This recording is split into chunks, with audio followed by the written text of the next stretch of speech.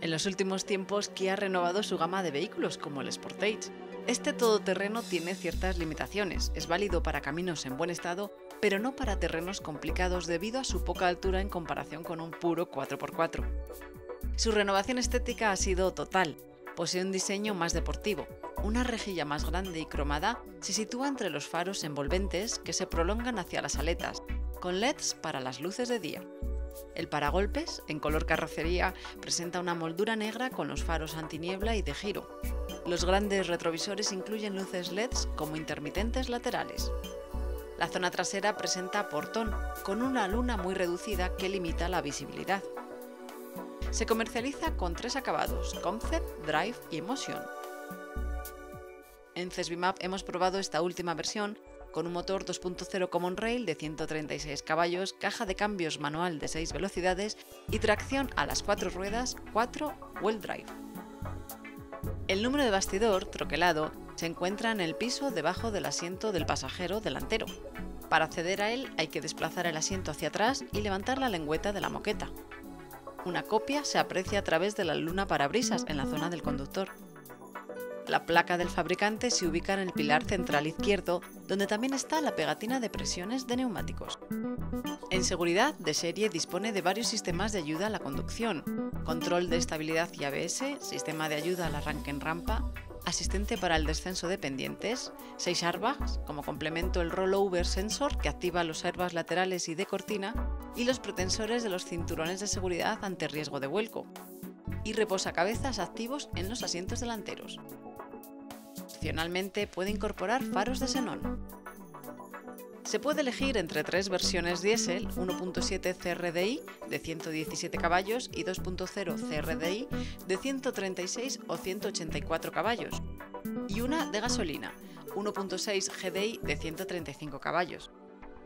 Todas las variantes llevan de serie una caja de cambios manual de 6 velocidades, a excepción de una posibilidad que incluye caja automática. Según el motor, la tracción es delantera o total. Únicamente el diésel Common Rail de 136 caballos se ofrece con ambas. La tracción total envía fuerza a las ruedas traseras cuando las delanteras patinan. También hay un interruptor que fuerza ese acoplamiento si se circula a menos de 40 km por hora. Este mecanismo hace que giren solidarias las ruedas delanteras y traseras.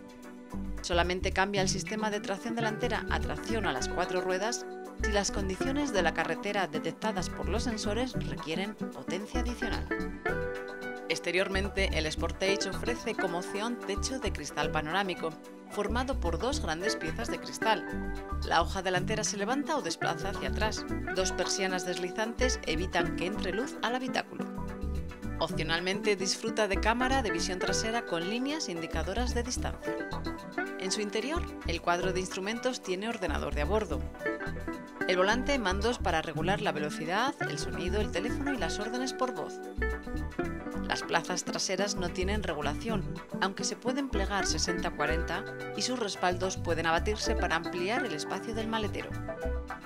Cesbimap ha realizado dos pruebas de impacto a 15 km por hora según normas RECAR.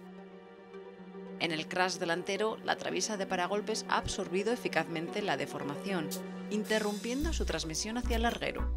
Se han dañado con importancia el capó, el frente y el intercooler.